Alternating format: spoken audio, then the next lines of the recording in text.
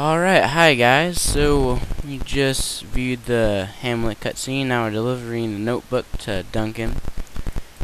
He's going to tell us about it. And I decided, as far as spoilers go, that they're going to be here. So, I mean, I'll probably skip over the mini shows anyway.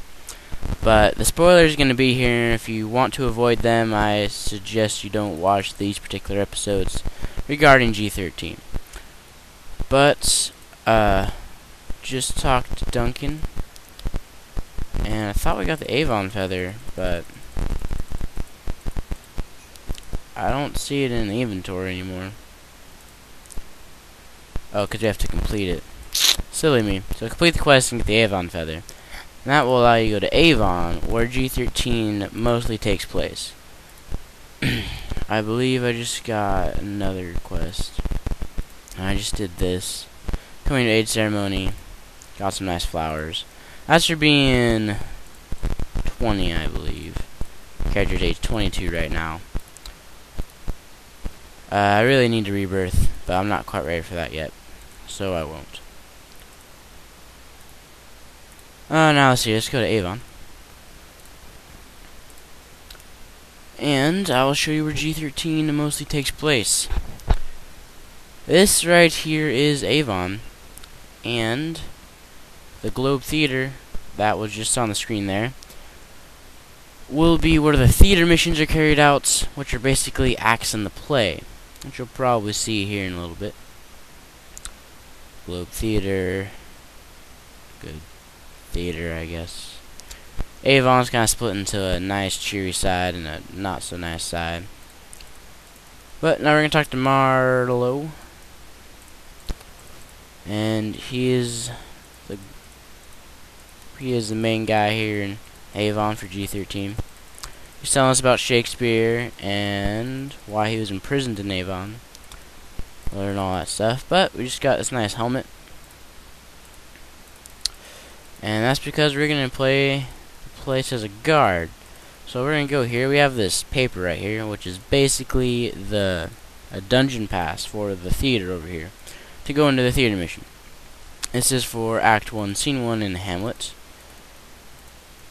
And then we're going to basically play the role as a soldier.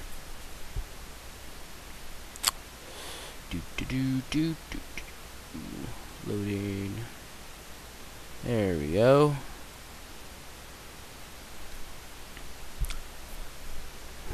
So, like I said, cutscenes.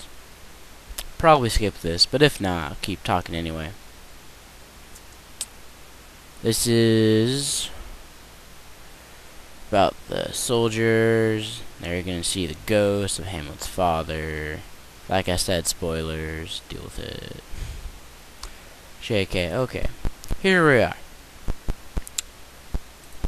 So, now we're playing the guard that's going to relieve this guard of his post. He has a nice spotlight on him.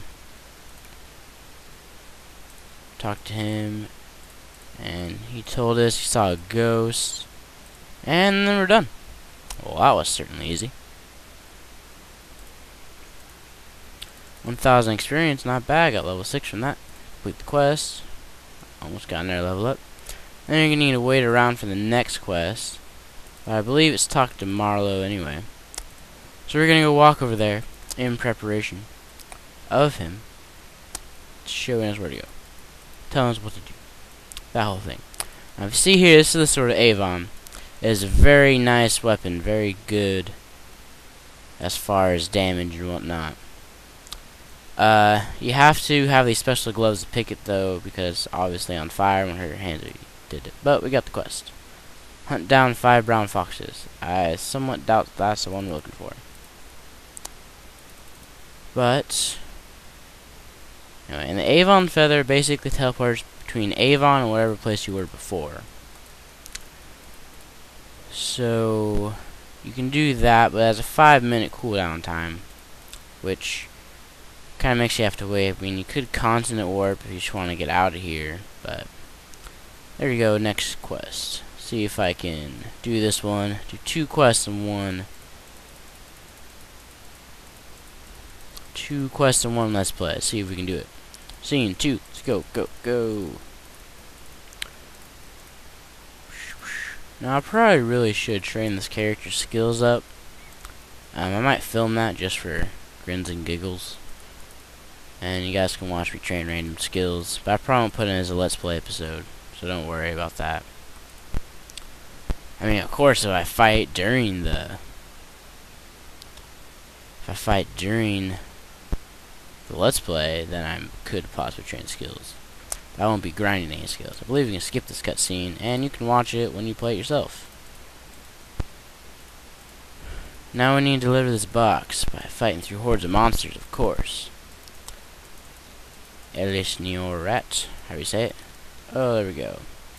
Now I believe this character is still low level. Yeah, I'm total level 6. Which means I'm going to be doing basic everything. So I am going to basically do really well. Well, no. Basic's really easy, basically, though. So I'm just going to kill these rats. Even though I'm only level 6, I'm pretty sure that basic would get harder, though. Um,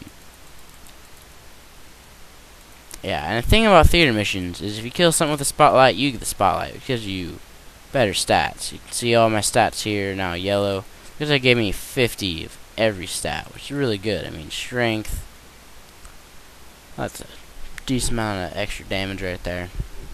I mean, training the whole entire carpentry skill only gives you like 50 additional strength.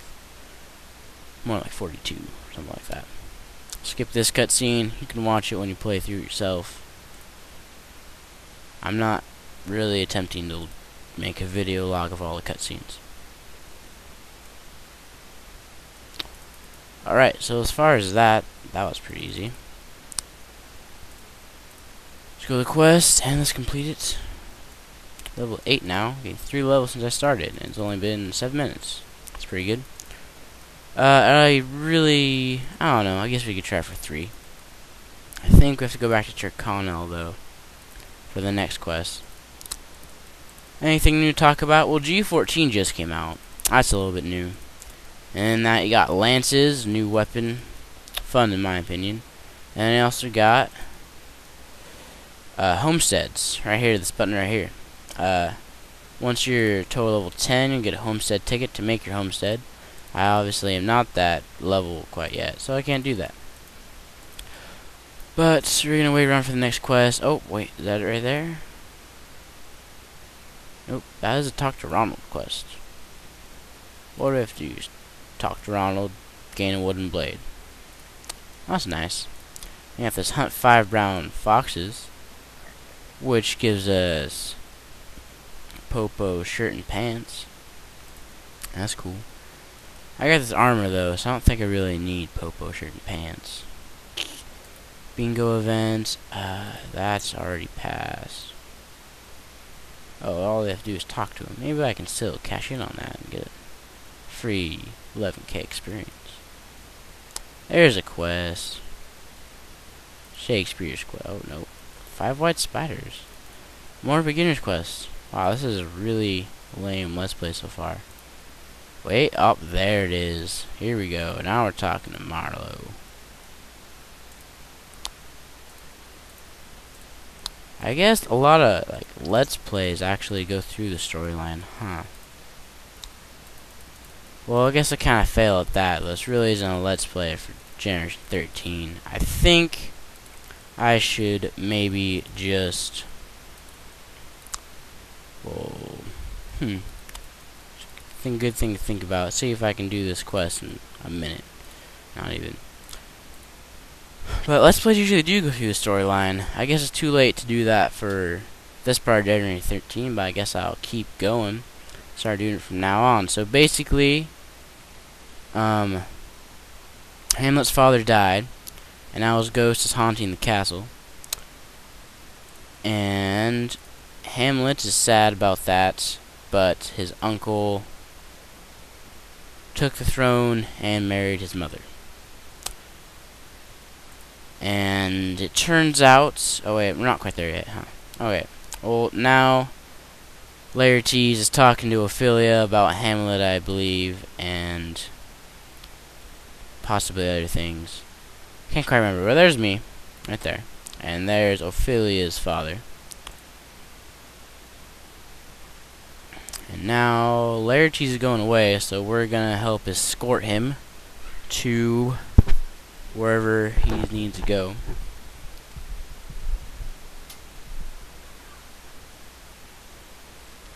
This is really going to take more time in the Let's Play, huh? I should cut out the waiting. And then... I am really at a loss right now. Anyway, but the words are really fast, so I mean I could try to read them out loud, but that would be fairly difficult. Probably try to do that in future acts, but this one is kind of just the first Generation 13. You're not missing much, I mean you can just read it yourself when you play through it. The main thing we're wa I wanted to show you is the dungeon and stuff, see what you're, well, the fighting and whatnot, see what you're up against. Now, at this part, Laertes is super pro. So, even though these are boss to me, Laertes will knock him out in one hit, like he just did. Let's see what a Magnum Shot will do. Oh, half his health. Oh, man, where did that guy come from? A noob archery skills. Why am I even using a bow? I don't know. Switch, switch. Okay, there we go. Sword. And Laertes comes to save the day. Look at that. One hit. Oh, now this guy.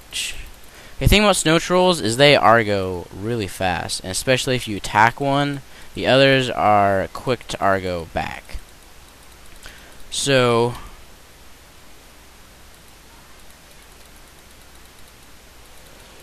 He's using smash. I'm just going to run and hit him. So they're actually really tricky to deal with. But thankfully Laertes is here to help you out. I'm in basic and I have this armor, so oh my, it's a Grim Reaper. And I just walk through the fence.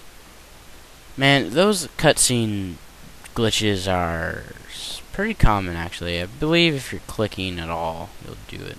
But the Grim Reaper summoned this snow troll in order to stop our progress, because Shakespeare's play is supposedly evil, and we're acting it out.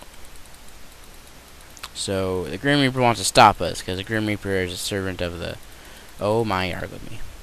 The servant of the Goddish people that are in Mabinogi. Oh, I just windmilled him. Go Laertes. Me and Laertes can take down this giant snow troll. He would have passive defense on my hit. Yeah, if you want, Laertes can basically take this guy out for you, but I am not in the mood to be served my enemies on a platter right now. Which is somewhat surprising. There we go, Larry. You just did a hundred, one thousand five hundred damage. I was doing what, one hundred?